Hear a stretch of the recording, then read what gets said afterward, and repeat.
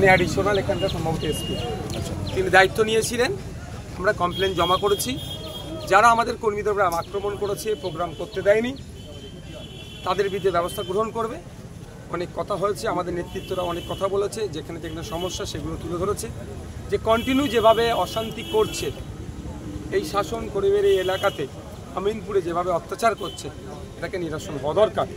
সেখানে জানানো হয়েছে, ওখানে যারা দায়িত্বশীল অফিসাররা ছিলেন তারা আশ্বস্ত করেছেন যে তাড়াতাড়ি অ্যাকশন নেবে এবং আমিও বলেছি যে যে ঘটনা ঘটেছে, পুলিশ সক্রিয় থাকলে এই ঘটনা ঘটতো না। আমি আশা করব পুলিশ সক্রিয় থাকবে। আগামীতে এই ঘটনা যাতে না ঘটে। এখানকার যিনি ম্যাডাম ছিলেন, তারা আইসি, যারা আরও অফিসার যারা ছিলেন, তারা এটাকে ইনশিওর করেছে যে কোনো অশান্তি হবে না। তাই আপনারা যারা দর্শক এর এখানে ছিলেন, আপনারা নিরাপদে আস্তে আস্তে আস্তে আস্তে আপনার এখানে বিদায় নিন।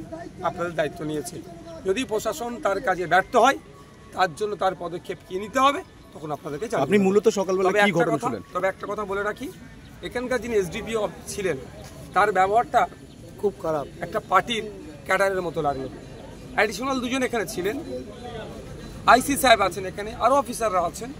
তাদেরকে ওই অর্থে দেখলাম না। কিন্তু এসডিপিও স্যার যিনি আছেন তার আচরণ তার অ্যাটিটিউড যেন একটা পার্টির লিডারের মতো শাসকের লিডারের মতো। এটা হওয়া বাঞ্ছনীয় নয়। তাই আমি এসডিপিও স্যারকেও বলেছি।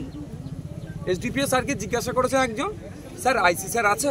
কারণ আইসি রুমটা কোথায় আছে? সকলের তো আর ইংলিশ পড়া ভালো করে জানে না বা শব্দ পড়া সবাইকে দেয়নি এই সরকার পক্ষই। সে যদি জিজ্ঞাসা করে বা জানার পরেও যদি জিজ্ঞাসা করে তো অপরাধ নয়, তার সাথে মিসবিহেভ করেছে। আমরা যখন ধরলাম, তখন এসডিপিও স্যার আরও চিৎকার চাচামেচি করছে অভদ্র আচরণ করছিল। তা আমি ওনাকে বললাম যে আপনার আচরণটা একটা দালালের মতো হচ্ছে পার্টির ক্যাডারের মতো হচ্ছে।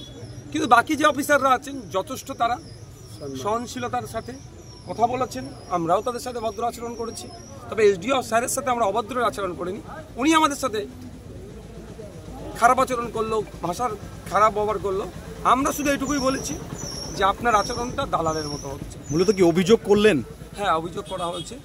একাধিক ঘটনা ঘটেছে কালকের গত রাত থেকে ঘটনা ঘটেছে সমস্ত বিষয় নিয়ে করেছি আমরা চাই শান্তিপূর্ণ ভোট শাসনে হোক। আমরা চাই শাসনের মানুষ শান্তিতে থাকুক। কেন মারামারি হানাহানি হবে? আর এই শান্তিতে রাখার দায়িত্ব যাদের প্রশাসনের তাদের কাছে জানিয়ে গেলাম তারা দায়িত্ব নিয়েছে শাসনের মানুষ শান্তিতে থাকবে কোনো অশান্তি হতে দেবে না। তৃণমূলের পক্ষ থেকে অভিযোগ করা হচ্ছে আমিনপুর খড়িবাড়ি বিস্তীর্ণ এলাকায় এই ঘটনার পর থেকে আইএসএফ এর পক্ষ থেকে ওদের পার্টি অফিসগুলো ভাঙচুর করা হয়েছে। যদি এ ধরনের ঘটনা ঘটে থাকে প্রশাসন আছে ব্যবহার ব্যবস্থা গ্রহণ করবে। তবে আমি ভুলে যাচ্ছি না। ভাঙড়ে সিক্স লেনে আমা- আমাদের কর্মীদের উপর আক্রমণ করেছিল যখন প্রশাসন আসলো ওই অদূরই একটা পার্টি অফিস ওটাই আগুন লাগিয়ে দিয়েছিল। এখানে আমাদের প্রোগ্রাম করতে দিল না আমাদের ক্ষমতাটা কতটুকু? যদি আমাদের ক্ষমতা থাকতো তো আমরা তাহলে আমিনপুর বাজারে প্রোগ্রাম করতে পারতাম কাজকলে প্রোগ্রাম করতে পারতাম। যাদের ক্ষমতা নাই কাজকলে আমিনপুরে প্রোগ্রাম করা তারা নাকি পার্টি অফিসে আবার ভাঙবে? এ তো পুরাতন থিওরি তৃণমূলে নিজেদের পার্টি অফিস ভাঙবে নিজেদের মেয়ের কাপড় ছিঁড়বে ছিঁড়ে কোনো জায়গায় শিলতাহানির কেস দেবে কোনো জায়গায় পার্টি অফিস ভাঙার কেস দেবে।